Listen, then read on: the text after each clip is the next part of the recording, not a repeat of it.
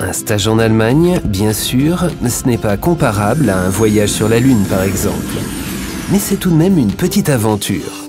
C'est pourquoi une bonne préparation est indispensable pour que tu puisses être à l'aise avec la langue et la culture. En fait, c'est même très simple avec Parcours, la plateforme d'apprentissage en ligne de l'Office franco-allemand pour la jeunesse. Mais Parcours est bien plus que cela. Un outil avec lequel tu apprends à ton rythme de nouveaux mots que tu peux réutiliser immédiatement et qui te font progresser. Que ce soit dans ton stage, à la recherche d'un logement ou au quotidien. Et encore plus, car avec Parcours, tu ne t'entraînes pas seulement à parler et à comprendre.